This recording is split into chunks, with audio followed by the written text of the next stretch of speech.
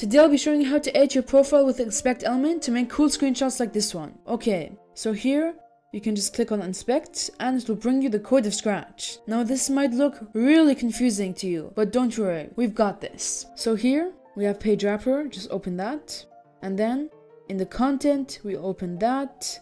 And here in profile data, we'll open it again. And then open it again. And again.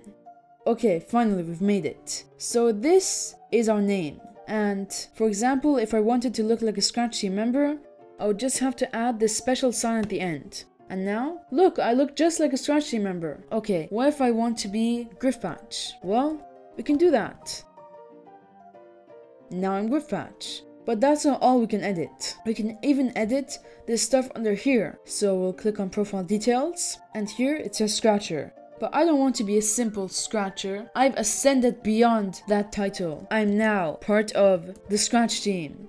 Wow, look at that. And then I didn't join two years ago. I joined a hundred, a thousand, ten thousand years ago. And then from location Austria, let me just change it to subscribe land and just says subscribe land. And yeah we have it here now. So you can take your screenshot. Just make sure to not reload the page. When you reload it it just resets. And only looks like this to you. So just be aware of that. And yeah that's the end of the video. I really hope you enjoyed. If you want to see more scratch hacks and tips then this video is just the one for you